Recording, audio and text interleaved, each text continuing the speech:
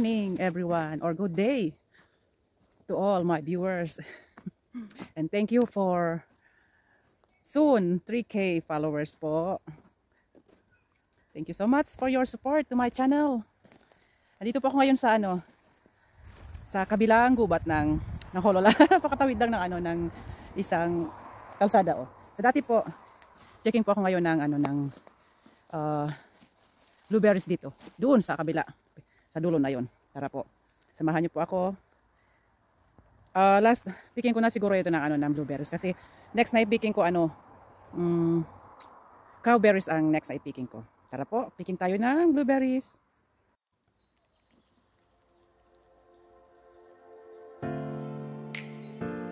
Dito po sa lugar na ito yung madaming ano talaga. Ayan po ang blueberries. Oh. Pwede pa i-pick yung cowberries guys. Kaya hindi pa sila masyadong hinog. Kaya hindi ko sila, hindi pa ako mag-pick ngayon. Ayan. Dito. Mga 2 weeks more. Kaya babalik, babalik ako dito after past 2 weeks. Then same time checking po ng mga mushroom. Kung may mushroom pang matagpuan tayo dito karamihan mga hindi na kina, mga ano yung not eatable ba yung tumutubo dito? Then yung iba ano rin.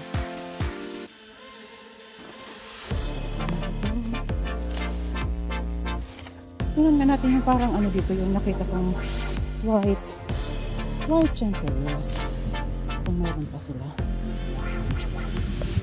Ah wala.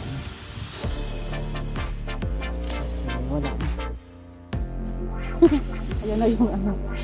Yung, ayun na, na, na ano na siya yung sobrang laking ano. Gummy buns. Kasi ang daming ano dito guys. Oh, sobrang dami ng blueberries pa dito.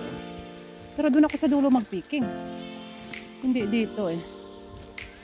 Doon ako sa pinakadulo talaga. Oh, yeah. Lucky guys. Oh. Okay. Sobrang lucky. Ganyan sila lumalaki. Meron talaga ngayon. Marami talaga ngayon yung ano, yung porcini. Yung kuntingo tayo punta dun sa dulo.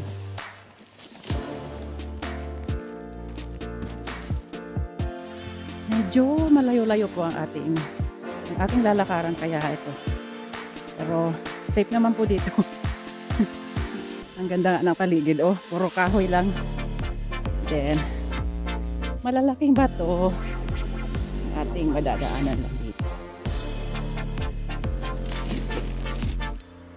Start na ako dito mag-guys kasi ang lalaki ng mga berries dito. Oh. oh.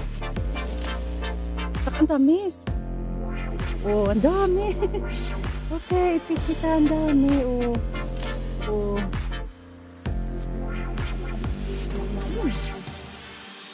Start. Ang dami. Lalaki nila.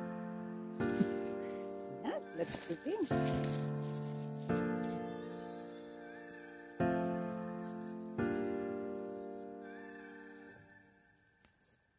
After ng hatid ko kay Alisa, kaya ito.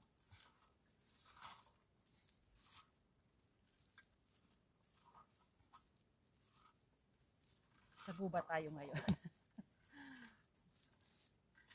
Ang lalaki talaga, oh.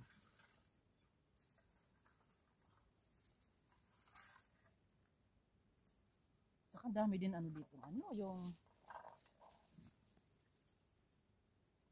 cowberries, yung red berries na dito sa ano kasama ng blueberries. Kailangan ko makaapat na ano, litra ngayon guys.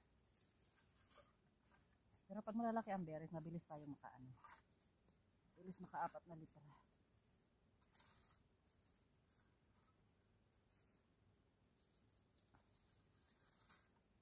Naglagay ako ng guantes kasi ano, para pag mainit kasi, dikit na dikit ang ano ang kulay nito eh. Pag mainit. Magpicking. Sobrang dikit ang kulay sa kuko kaya naglagay ako ng guantes.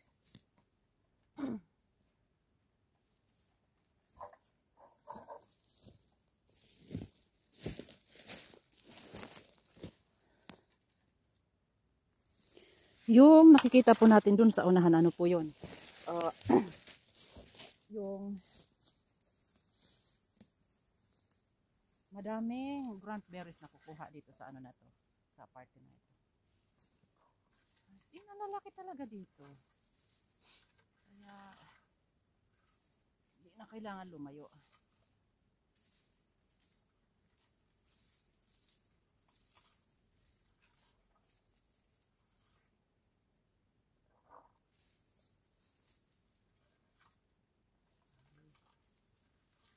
Lamok.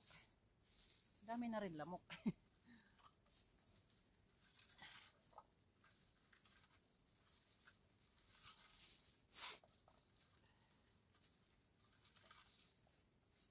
Kasi ang gaganda ng ano dito. ang lalaki talaga. Yes. Sobrang lalaki ng berries dito guys.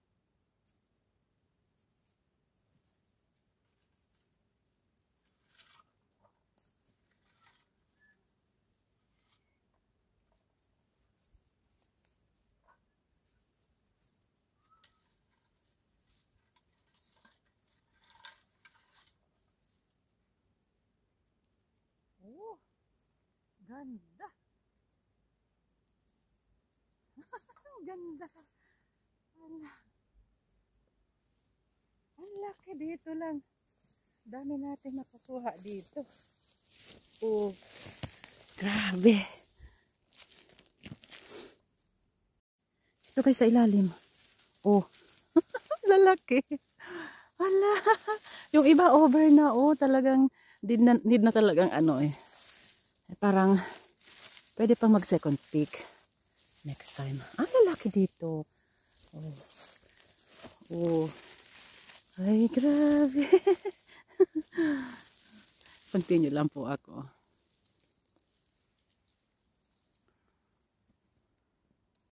Napako na ako dito guys. Then, ayan na oh. Nakaisang letra na ako. Kaya, continue lang ako dito picking. Ang lalaki. Kaya hindi na ako lalayo pa. Ayan oh.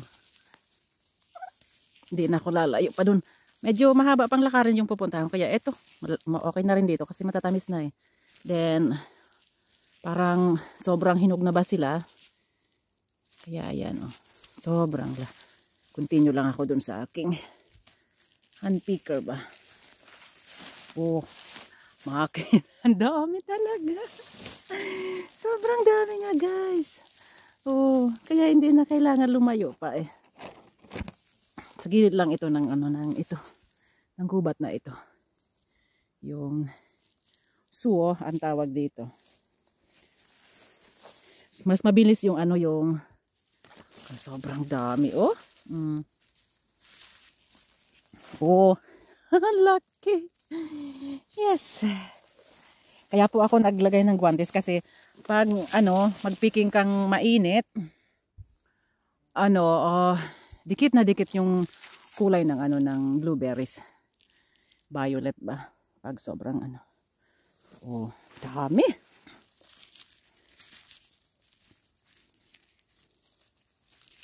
Kalahating oras pa lang ako dito. Naka isang litra na tayo. Or ako. Then, babalik ako dito kasi ang daming ano, yung cowberries, oh. Madami rin cowberries dito. Yung lingon, lingon berry. Pawis na po dito sa ano, sa gubat. Mainit nga yung araw eh. Nasa, kaninang umaga nasa 11, ano. Pero ngayon mataas na, nasa 20 siguro. Ayan, nakadalawang puno na po. Na po ako dito. Ayan. Ang bilis lang. Hindi na ako umalis dito kaya kasi ang dami rin dito eh. Kaya continue lang mga isa pa. Mag 11 11:30 na kaya isa pang isa pang puno dito din. Uwi na. Not bad talaga. Ayan na po ang, ang aking pangalawang ayan. Kalahati na sa timba. O 4 4 liters po ang puno dito kaya 4-5. Sa ano na to, oh. Ang lalaki nila. Ang ganda. Kahit pa isa-isa lang po dito kasi, ayun, oh, lalaki. Kaya mabilis makapuno sa ano, hand picker kung dala. Yan po. Oh.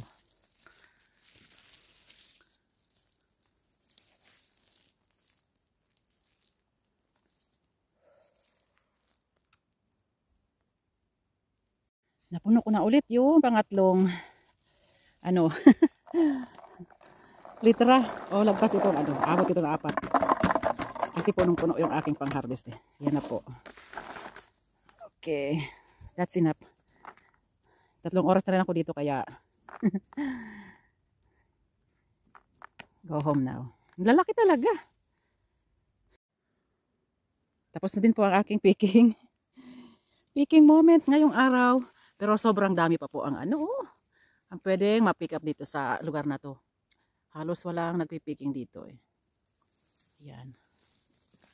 Asin, ang lalaki. Lahat po ito, puro ano, blueberries. Next picking ko ano yung ito. Ang aking ipipick yung cowberries or lingon berry. Sobra din dito kaya babalik ako dito mga next ano next week. Ayan. Sa katapusan nitong ano. Oh. August. Sobrang dami. Okay guys. Until to my next vlog. Picking Lingon Mary ang next ko. Thank you again for watching and God bless to all of us.